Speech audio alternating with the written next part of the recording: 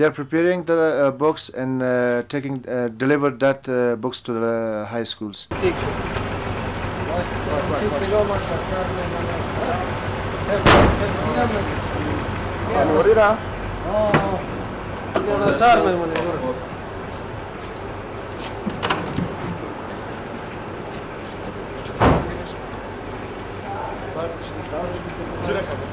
In the back of this car are two bougies, and they're large bags, and in those two bougies are 500 books.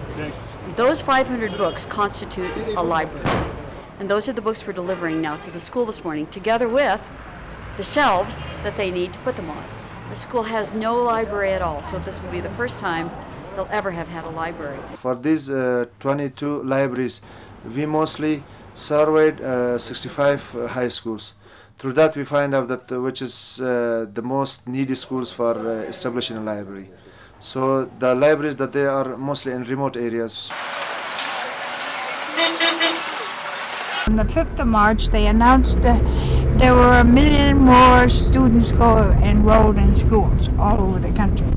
So the enrollment total is 7.2 million, and about half of those are girls. So here, see, on every side of us at this time of the morning, you'll see girls going to school because most of the schools have uh, shifts because uh, not enough um, buildings for them.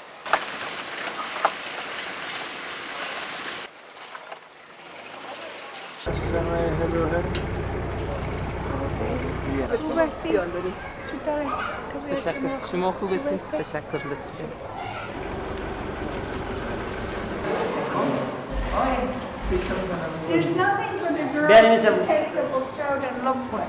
So let's move this okay, so up, we'll move. up here. The poly and quadrangle.